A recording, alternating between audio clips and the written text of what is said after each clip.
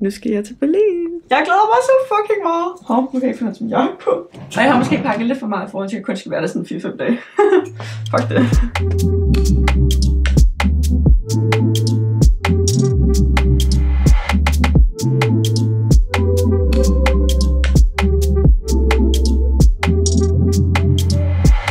Nu er jeg på paven, og jeg har købt lige kajeburs for at komme i stemning. Jeg vil mega gerne på klub i aften på Teknoklub. Så jeg tænkte faktisk, at jeg på højskole og se om nogle andre har nogle planer. Anyone up for going out to a techno club? Og måske skulle vi stave techno ordentligt. Tonight. Ud på floor, og det går ud, ud, ud. Disaster. Fuck. Run.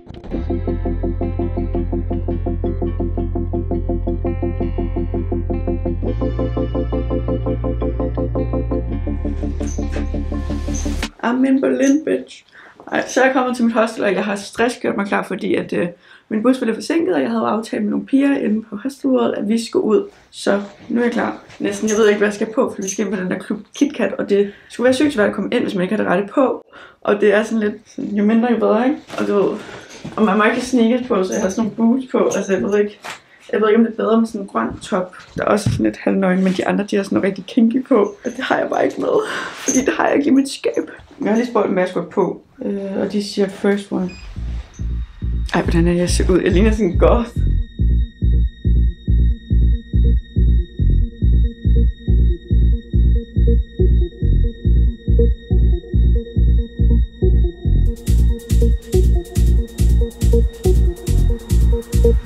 Vi er lige kommet ud fra KitKat, og det var seriøst den sygeste oplevelse. Whatever she said, Yeah. it's right. I said it was the craziest experience ever. Like, oh Bitch, that was fucking wild. Did you see that girl getting uh, given? Bitch, I wish that was me.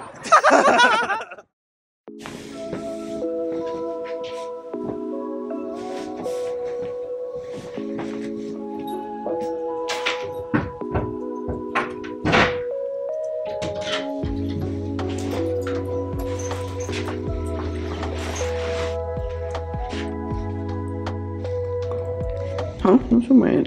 Det skal jeg ikke. Hvordan man ud igen? Mm, den der. Vi skal ud og finde en kaffe. Godmorgen. Jeg er på vej ud for at finde noget morgenmad nu. Jeg skal have en kaffe. Jeg er lidt træt, seriøst. Det var den vildeste aften i går. Vi kom ind på den der KitKat-klub, og den er bare det vildeste, jeg nogensinde prøvede. altså sådan at se op. Man må ikke have sin uh, telefon derinde, øh, fordi at folk er basically nøgne. De har ikke særlig meget tøj på, og de danser virkelig vildt. Øhm.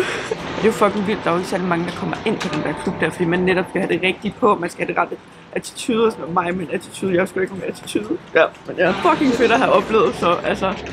Jeg er ikke slet ikke beskrive det. Ja, den skal jeg lige fordøje, så i dag der skal jeg bare tulle lidt rundt, og så skal jeg måske ud sammen med en af dem, jeg var på KitKat med en god, måske ud og drikke en drink med ham i aften. Eller, jeg skal ikke drikke en drink, for jeg har sagt som selv, at jeg skal drikke resten af året. Og jeg drak heller ikke i går, så jeg har ikke nogen tømmer med mænd i dag. Det er fantastisk, jeg er frisk, og skal have noget mad.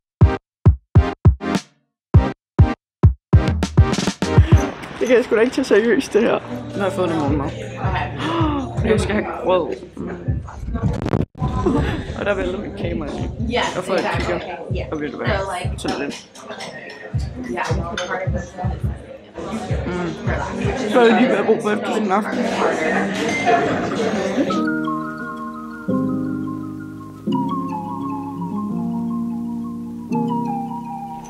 På vej hjem i går fra klubben, der gik vi forbi et julemarked, der selvfølgelig var lukket, men jeg tænker faktisk, at jeg lige var på se, om det er åbent der på Alexanderplatz. Og jeg bor ikke så langt derfra. Men det er jo søndag, jeg er lidt i tvivl om, at alt er lukket, fordi dengang jeg boede i München, der kan jeg huske, der var en lukkelov om, at alt skulle lukke om søndag, så I hope not. Okay, jeg tror, at alt er lukket, fordi det er søndag.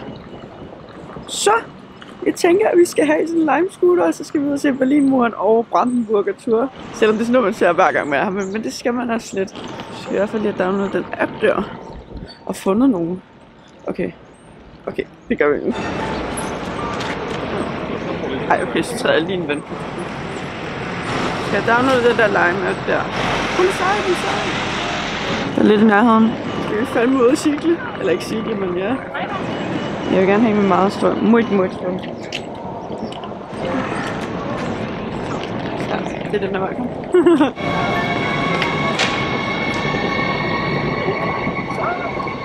Gooi dat. Bro.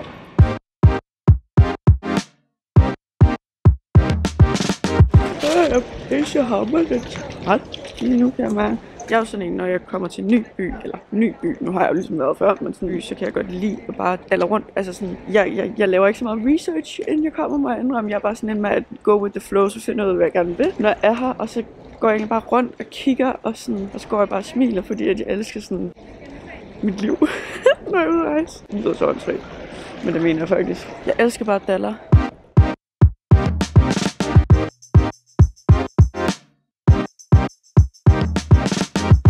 Fattig!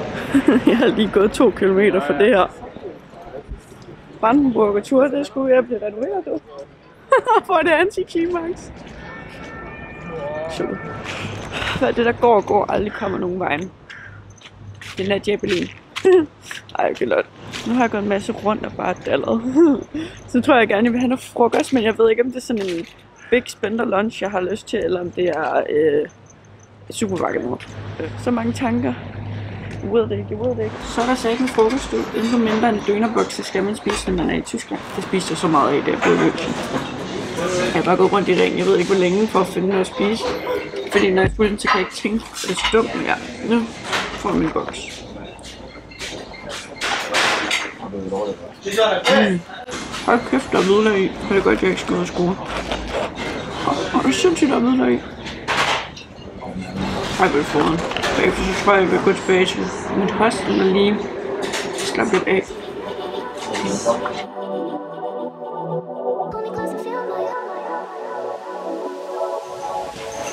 Åh, uh, voldsomt.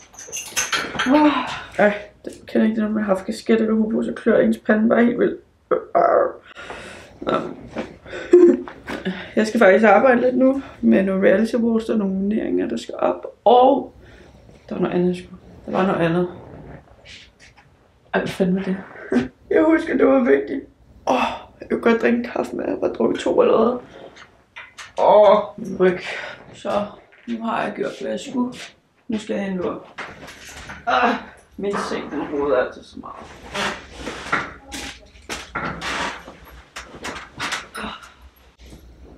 Goddag. Godmorgen. Jeg er lige vågnet for en lur. Fantastisk lur. Mm, mm, mm, mm, mm. Ja, det regner, så jeg har brug for lige at blive beskyttet. okay, så har jeg brug for et plan, for jeg aner ikke, hvor jeg vil hen. Altså, jeg har jo, jeg har jo ikke nogen stedsats. Der er her. Jeg tager den. 450 meter. Bum.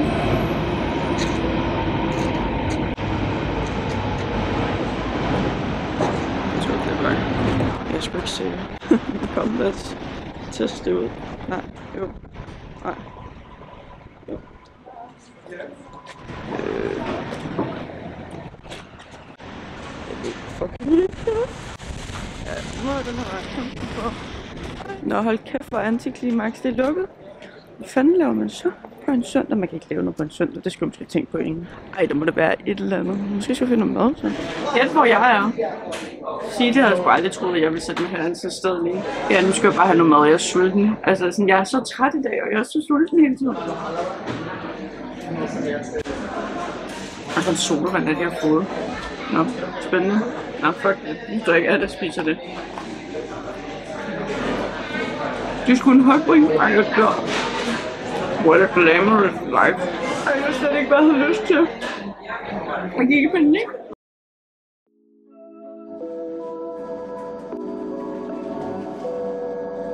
Klokken den er klokken 7.47. Se min baggrund. Det er en glad hund.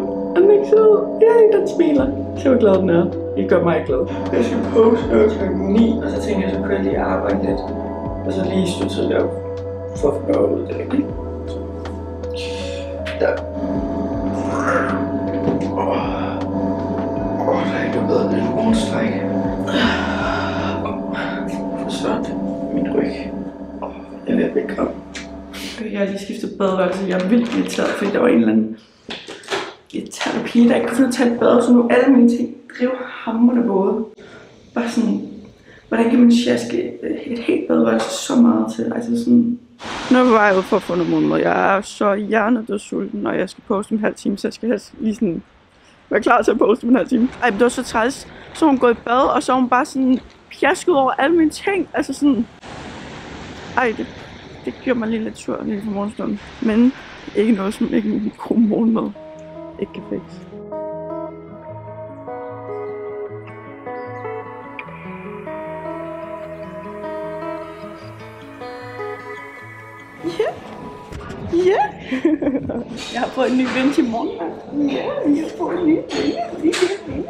Du er så sød. Vil du se her? Vil du se her? Ej, hvis det ikke kan gøre en dag bedre, så ved jeg ikke, hvad kan jeg sige. Kom. Mika, hvad, hvad vil du have? Vil du have en croissant? Jeg kan lide en croissant, mand. Du er så sød.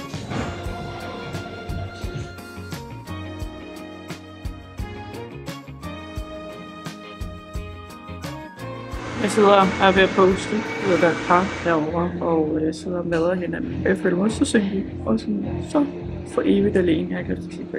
Okay, jeg har arbejdet, jeg har postet, jeg har gjort, hvad jeg skulle, og så rendte jeg lige ind i min new friend from Romania, som jeg også har øh, hængt ud med de sidste to aftener. Øhm, jeg har lyst til at kalde hende Yvonne, men det ved jeg, hun ikke hedder. Jeg kan ikke udtale hendes navn, men jeg skal lige spørge hende, når hun kommer. Men vi skal i hvert fald ud og sightsee.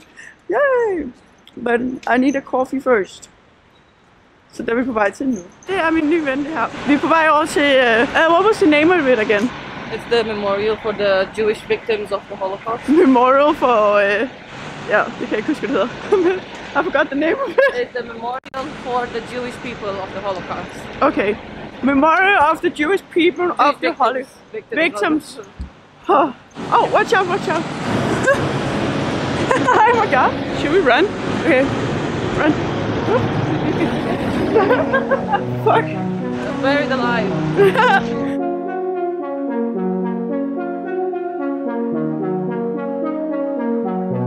I think there's like 2,318 of them.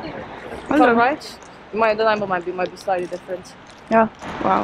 Nå, ja, vi skal over og se et andet memorial nu, et eller andet for... Jeg kan ikke huske. Vi går basically bare rundt og tager lidt billeder. Hun er fotograf og vildt dygtig til det. My wifi is called uh, din mor. Jeg ved ikke, hvorfor jeg gør det med mig selv. Nu er jeg godt nok forvildet mig langt væk hjemmefra. Det er fordi, jeg er sulten, så kan jeg ikke tænke på helvede. Og når man rejser alene, så er der ikke nogen, der kan tage en beslutning for en. Så jeg synes, det er helt absurd. I've been waiting for this moment. Jeg ved ikke, om det er så fordi du regner det jo lidt. Jeg er totalt dårlig humør lige nu. Jeg er sådan, jeg er vildt